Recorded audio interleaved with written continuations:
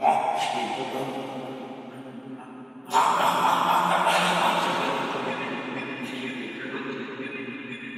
pakai pakai k a t i legal utama itu.